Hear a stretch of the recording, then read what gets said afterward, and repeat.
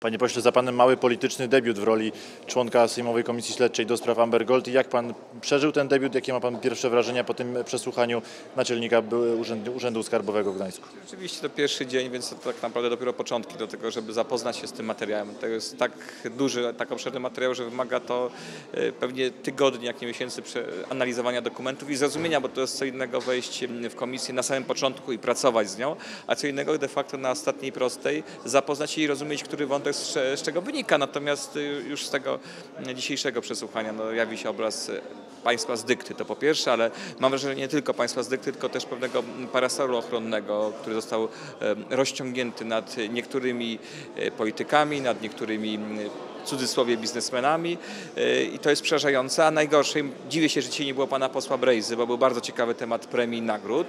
Tutaj bez wątpienia i to wszyscy chyba z uczestników komisji stwierdzili, że Urząd Skarbowy, który, do którego przyszedł dzisiejszy świadek, był urzędem z dykty, był fikcyjny. Tam były dziesiątki tysięcy dokumentów, które nie były obrabiane, nie były mm, archiwizowane, nie wyciągano konsekwencji. Dziesiątki tysięcy e, zobowiązań podatkowych, które nie były egzekwowane od podatników, a równolegle za czasów koalicji PO-PSL, za czasów pana Rostowskiego, pracownicy tego fatalnie funkcjonującego urzędu otrzy- otrzymywali nagrody i premie. No to jest tak, że za patologię Amber Gold i pewnie szereg innych patologii e, koalicja PO-PSL wynagradzała pracowników. Pytanie, czy to było celowe, czy to nie było celowe, ale pan Brejsa mógłby się wypowiedzieć i zastanowić nad tymi pewnie setkami tysięcy złotych, jak nie milionami w skali lat, które poszły na to, żeby utrzymać tych, którzy rozpo, e, rozpo, rozpo, rozpostali parafon- parasol ochronny nad Amber Gold. Pan poseł Brejzak tłumaczył, chyba jest dzisiaj u żony w szpitalu, więc y, ma, ma, ma wytłumaczenie, jego obecność jest usprawiedliwiona, ale dopytam... Jeżeli tak, to ja oczywiście życzę zdrowia, natomiast jeszcze, em, bo to sprawy osobiste są, no, nie można z tego żartować, natomiast ja dzisiaj rano, o ile wydaje mi się pana posła Brejzę, y, widziałem, maszerował alejami ujazdowskimi, nawet na chwilę, chwilę nie było go na komisji, ale oczywiście, jeżeli są sprawy siły wyższej, to, to rozumiem. Mam nadzieję, że tymi premiami za czasów ministra Rostowskiego zajmie się. Przed Komisją Śledczą dużo pracy, ale dużo pracy też przed Pałacem Prezydenckim i samym panem prezydentem. Jeśli chodzi o referendum, tutaj mała zmiana tematu. Jak pan wczoraj odczytał te 15 pytań i czy jest pan optymistą, jeśli chodzi o frekwencję przy takim listopadowym głosowaniu?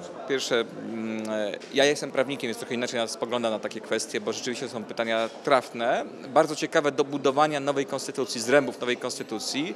Pytanie natomiast, czy dla zwykłego obywatela, dla takiego, który nie jest prawnikiem, który być może nigdy nawet konstytucji nie otworzył i nie przeczytał jednego rozdziału tej konstytucji, one będą zrozumiałe i będzie wiedział, o co jest pytane. To jest y, ogromne zadanie, ogromna praca i pytanie, czy ona zakończy się sukcesem, to, to trzeba teraz ocenić w najbliższych miesiącach, w zależności od tego podejmować dalsze decyzje, bo tak jak podkreślam, bardzo trafne pytania, tylko czy dla szerokiej opinii publicznej to jest zrozum- zrozumiała materia, czy pierw nie trzeba byłoby odrobić lekcji, wytłumaczyć, czym, y, co implikuje każde z pytań, na czym polega konstytucja i dopiero później, żeby ci obywatele mogli świadomie podjąć y, rozstrzygnięcie, dopiero później przeprowadzać takie referendum. Czy na tej ścieżce do referendum, na tej ścieżce odrabiania lekcji, jak pan powiedział, może liczyć prezydent na poparcie i Prawa i Sprawiedliwości? My wielokrotnie mówiliśmy o tym, że należy zmienić konstytucję, że konstytucja wymaga zmiany. Trzeba tylko przyjąć e, odpowiednią formułę i mieć większość w parlamencie odpowiednią i wydaje mi się, że to jest najważniejsze.